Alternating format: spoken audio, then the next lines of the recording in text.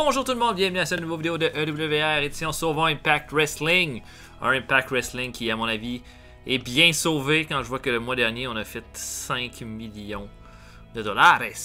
Euh, on se dirige vers la fin de notre mois de septembre avec notre prochain PPV qui sera euh, Mayday avec un main event entre EC3 et euh, Excusez.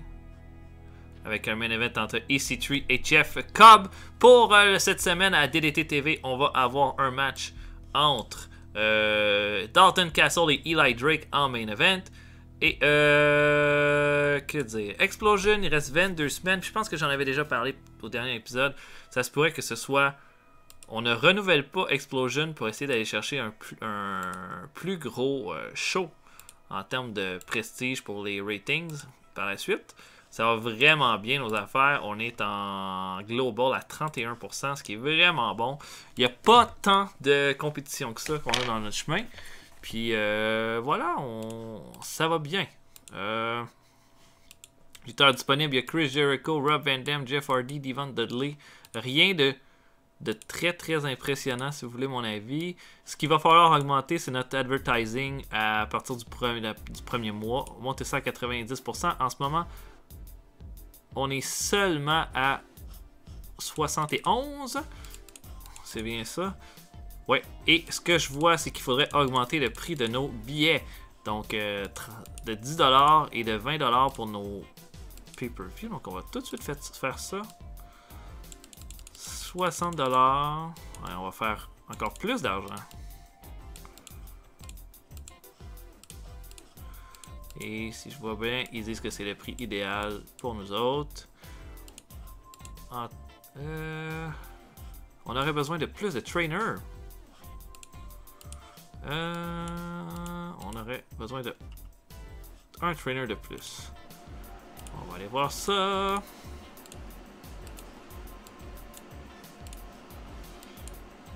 Tom Pritchard, Nathalie Tyler. Je sais pas c'est qui ça, Nathalie Tyler, mais elle, en tout cas. Brad Renegans, qui est un ancien lutteur de la AWA. Et Tom Pritchard. En tout cas, Tom Pritchard, pour 3 points d'overness de plus, coûte quand même quoi Presque 20 000 de moins. On, va signer Tom Pritchard. Doctor. Dr. Tom Pritchard. Et on va avancer. Euh. Ok, donc je vais booker DDT TV. Et on se voit immédiatement après. Tantôt tout le monde. Ok, on ouvre DDT TV avec euh, euh, les Outlaw Inc. qui se présentent au ring. Homicide et euh,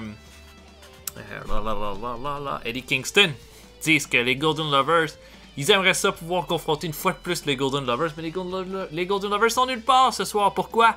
Parce qu'ils se sont fait détruire, annihiler complètement effacé euh, de la surface lors du dernier Impact Wrestling.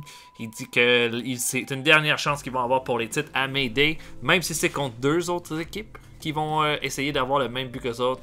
Il jure que les Golden Lovers seront plus jamais les mêmes après ce qu'ils qu'ils leur ont fait la semaine passée. Euh, ça va perdre 2 points d'overness. Kenny Omega, même s'il n'était pas dans le segment, va perdre 2 points d'overness. 71%, c'était bien bas disons-le. Euh, mais c'est bon, on ça n'a pas tant de charisme, c'est plus Eddie Kingston qui en a. Notre premier combat de la soirée est un six-man tag. Han Hideko, Alistair Black et Matt Riddle affrontent Aaron Rex, Alberto El Patron et Lashley. Gros combat pour ouvrir le show euh, avec quelques jeunes loups dans le combat. Et euh, bon, un bon match, 78%, 79-79. Matt Riddle va aller chercher sa plus grosse victoire puisqu'il va faire sa Bro Mission à Aaron Rex pour confirmer totalement qu'il est le number one contender pour le titre télé à Mayday. Euh, voilà, mon combat. On continue de revêter avec Black, Lashley, et El Patron et Hideko. On a ensuite Holly Goes qui font une promo. Euh, euh, Eli Drake et Kevin Matthews disent que ce soir, Eli Drake va montrer qu'il est encore digne des plus hauts sommets de Impact Wrestling. Quand il va battre Dalton Castle dans le ring, il dit que Castle est rien sans Moose à ses côtés et que ce soir, euh, Kevin Matthews va s'assurer que Moose ne va pas intervenir. Un bon pro, une bonne promo de 84, Kevin Matthews va gagner un point d'overness, c'est excellent. On a ensuite un combat entre Teddy Edwards et Tyler Breeze. Et je pense que Tyler Breeze avait besoin d'une victoire, euh, une bonne victoire, étant donné que depuis qu'on l'a fait venir, on s'en sert avec Johnny Impact, mais il n'y a pas vraiment eu tant d'occasions que ça de se valoir. Et là, il va faire un combat correct contre Eddie Edwards. Euh, un bon match et va gagner clean contre Eddie Edwards alors qu'Eddie Edwards va sauter la troisième corde. Tyler Breeze va faire son beauty shot dans les airs pour la victoire. Eddie Edwards va perdre un point d'overness, mais Tyler Breeze va en gagner trois. Ça va aider notre rivalité. Euh, donc euh, voilà, un bon petit combat ici, une belle victoire de Tyler Breeze. EC3 se fait interviewer. EC3 dit que il a passé les trois derniers mois à affronter des grandes gueules, des gars qui parlaient beaucoup puis qui agissaient peu quand il était dans le ring contre eux.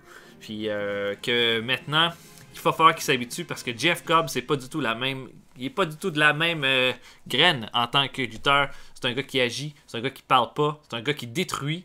Puis il dit que ça va être son plus gros défi à Mayday. 91%, une excellente promo des C3 et un excellent main event en Dalton Castle et Eli Drake. Un bon match, mais un crowd reaction très impressionnant.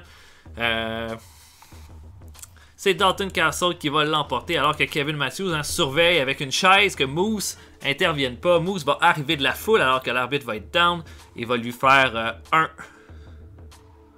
euh, un bicycle kick en pleine gueule.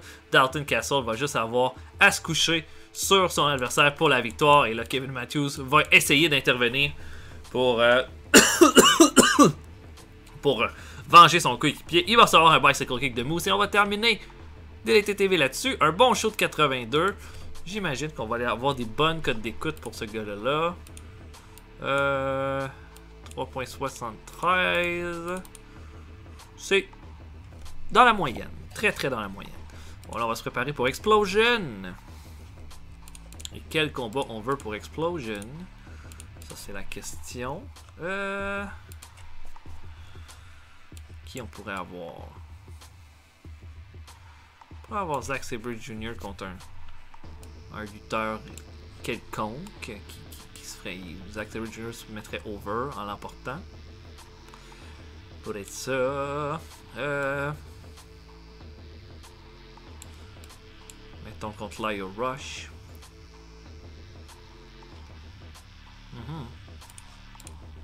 L'overness de Lio Rush de toute façon? 57. C'est un peu bas. C'est un peu bas. Mettons qu'il y aurait un combat contre...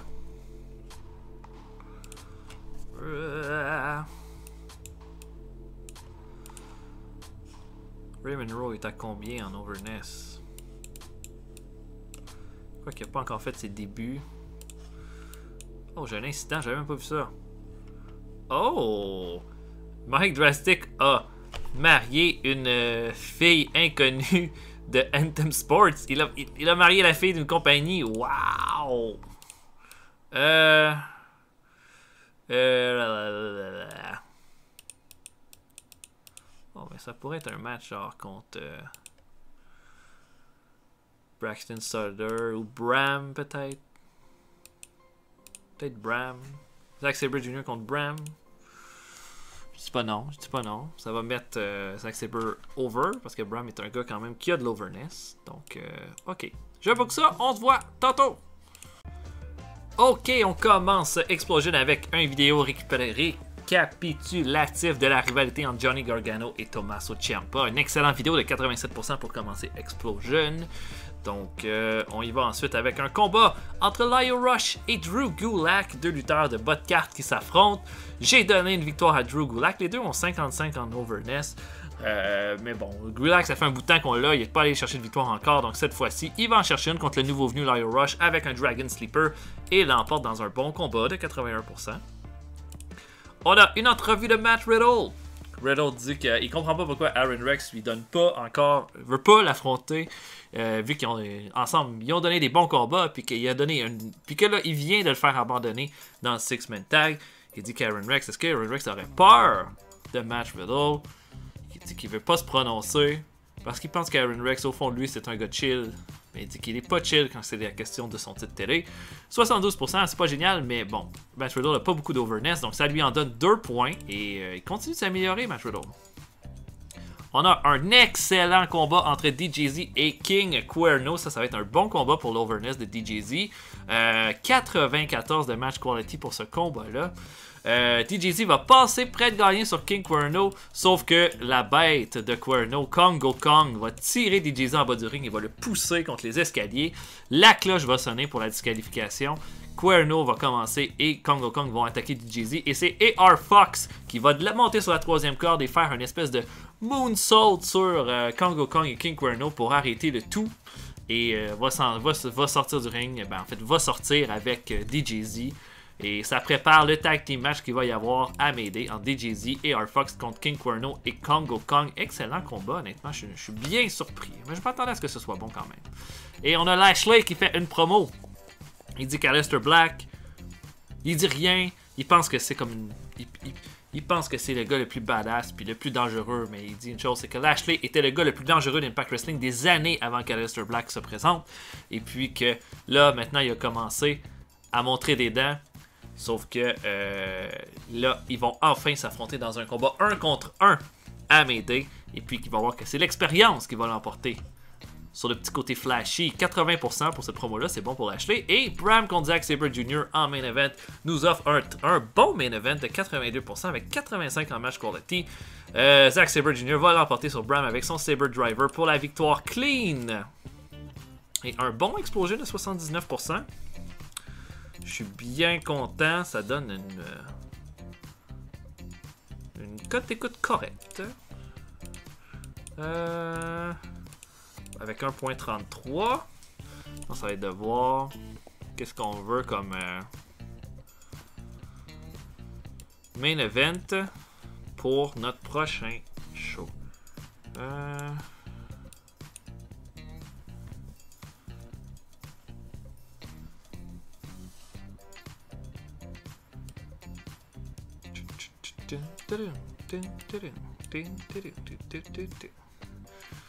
Hmm, qu'est-ce que j'avais fait euh, le dernier Impact Wrestling? Il y avait un match entre Dragon Lee et Mysterio Dark. Mais moi, je pense que je vais faire un combat frère contre frère en main event.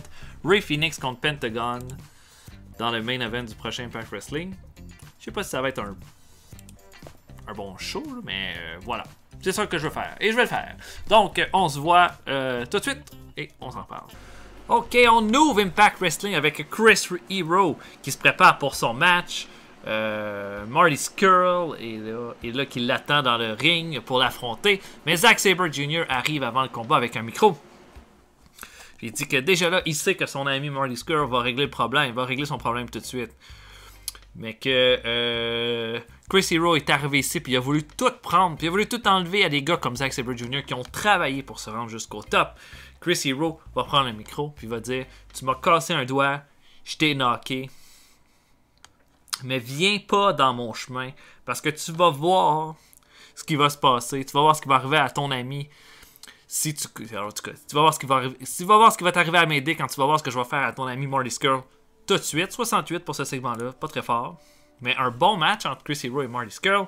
Puis durant le combat, Marty Skrull va péter un doigt de, Marty, de, Chris Hero, va péter un, un, péter un doigt de Marty Skrull à la Zack Sabre Jr. Et après, va lui faire le knockout pour la victoire. Un bon combat pour commencer le show. On a ensuite un combat de la X-Division. Johnny Gargano affronte Caleb Conley. C'est pas long que Gargano va faire son Gargano Escape. Et ça va quand même faire un bon combat de 80% avec un bon match quality de 86. On a les Golden Lovers qui sont en entrevue. Euh, Kenny Omega dit que les Golden Lovers sont pas à 100%. L'attaque des Outlaw Inc. a été vraiment leur a fait vraiment mal, sauf qu'ils vont se battre ce soir, ils vont défendre leur titre comme ils défendent toujours leur titre à toutes les semaines depuis qu'ils sont champions. Ils, veulent prouver que c'est la meilleure équipe de tous les temps, et puis que ce soit contre une équipe, deux équipes, trois équipes comme Amédée, ils vont montrer qu'ils sont à la hauteur du défi. 83, excellent. Et un bon combat par équipe de 82%, les Golden Lovers contre Cedric Alexander et Loki. Euh, Omega va surprendre Loki avec son One-Wigged Angel pour la victoire. Il n'y aura pas d'attaque, pas de massacre. Ça va se finir comme ça. Il y a euh, le Dark Reigns qui s'en vient dans le ring. Mysterio dit que Dragon Lee et Ray Phoenix veulent pas comprendre, mais ils peuvent pas lutter contre les forces, les forces du mal qui envahissent la Impact Wrestling. Il y a quelque chose, il y a une puissance qu'ils peuvent pas comprendre. Puis ils vont la comprendre quand ils vont affronter euh, Pentagon et Mysterio Dark à Mayday. Dragon Lee et euh, Ray Phoenix arrivent. Ray Phoenix va dire que dans le ring, il y a parmi les personnes qui sont les plus importantes dans sa vie. Puis ces gens-là vont prendre des mauvaises décisions. Il veut essayer de les faire. Il veut essayer de les sortir de là. Puis ce soir, il veut affronter son frère Pentagon, celui qui l'appelait son frère Pentagon, dans le ring, dans le main event. 75% pour ce segment-là. C'est quand même bon, considérant que Ray Phoenix et Dragon Lee sont dans le match. Euh, Gargano revient dans le ring après sa victoire. Il dit que les semaines, les jours passent, que le combat ultime contre euh, Tommaso Ciampa arrive à grands pas et Tommaso Ciampa s'amène au ring euh, plus euh, arrogant, sûr de lui que jamais. Il dit que dans. Ce qu'il dit à Gargano, c'est que dans 30 secondes, je vais prendre ton titre, te taper sur la gueule avec, puis te montrer une affaire. C'est que ton titre, je m'en fous. Tout ce que je veux, c'est t'enlever de ma vie effacé depuis le début. Tu es arrivé avant moi. Tu penses que tu as tout fait parce que tu es arrivé avant moi. Puis c'est toujours ça qui s'est passé. Tu as toujours été moins bon, mais tu as toujours eu plus parce que tu es toujours arrivé un petit peu avant moi. Mais là, je suis là. Je suis là pour rester, puis je suis là pour prendre le titre de la, X-Division de tes mains. Et au moment où est-ce qu'il dit ça, coup de pied dans les couilles, le Gargano prend le titre de la X-Division donne un bon coup sur la gueule à Gargano et le laisse comme ça, inerte sur le ring. 81% pour ce segment-là. Tyrus affronte Kongo Kong dans un très bon combat de 87%. Tyrus est sur le départ. Hein. Euh, on va pas le re-signer, on va sauver 30 000 sur notre masse salariale. Euh, Kongo Kong, lui, est en montée et va l'emporter avec son Hell Driver sur Tyrus alors qu'il est accompagné de King Cuerno. Un bon petit combat. Et il y a Eli Drake qui reçoit euh, euh, EC3, il veut faire une entrevue. Évidemment, il commence par être vraiment arrogant. Il dit Ah, c'est fini, hein, c'est fini notre rivalité. Écoute, j'ai, c'est beau, euh, t'as été très très bon, mais comment on sait à ce on sait qu'on va affronter un gars comme Jeff Cobb, un gars qui est inarrêtable, un gars qui a pratiquement jamais perdu, un gars qui en simple est encore invaincu. Et puis là, EC3 dit que Jeff Cobb c'est un beau défi, mais que ça prend des grands défis pour être un grand champion, puis que Jeff Cobb va être ce défi-là. Et Jeff Cobb, ça arrive, arrive comme la dernière fois. Arrive dans le ring et commence le brawl avec EC3. Et là, Drake euh, fout le camp, il veut rien savoir de ça. Et puis euh, le brawl va faire en sorte que euh, Jeff Cobb va facilement prendre l'avantage au niveau du brawling. Va prendre, va l'amener en bas du ring et va faire un powerbomb à travers la table des commentateurs sur EC3 et va laisser le champion comme ça, gisant. Ah, beau, un, beau, un beau segment de 82%. Et on a Jeff Jarrett, c'était pas Karen Jarrett, mais c'était Jeff Jarrett, qui annonce que, euh, vu que Matt Riddle a fait, abandonner Aaron Rex à DDT TV, Matt Riddle sera le number one contender pour le titre télé à Mayday. Et le main event, 77%, combat décevant, à mon avis, entre Phoenix et Pentagon Dark. Je m'attendais à bien plus que 80% de match quality. Mais non seulement ça, mais Ray Phoenix va l'emporter sur Pentagon Dark suite à une intervention de Dragon Lee, euh, alors que euh, l'arbitre euh, ne regarde pas. Dragon Lee va monter sur la troisième corde, il va faire un 450 sur, Ray, sur Pentagon. Alors ensuite, Phoenix va faire son Fire Driver sur Pentagon pour la victoire, 77%. C'est pas assez, c'est pas assez. Puis honnêtement, les Mystic Creatures, ce n'est que des déceptions.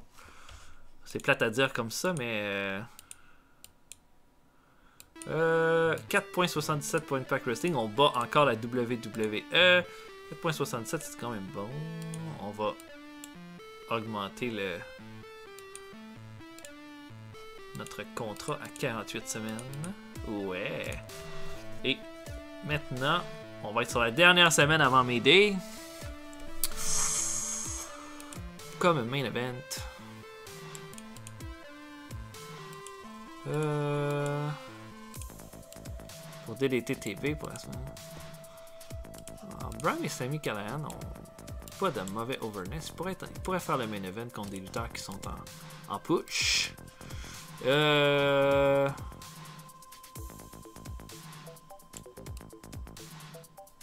Ah, ouais, je pense que ça va être euh, le Beautiful Impact contre euh, Death Row pour le prochain show. Ouais, à, à, à.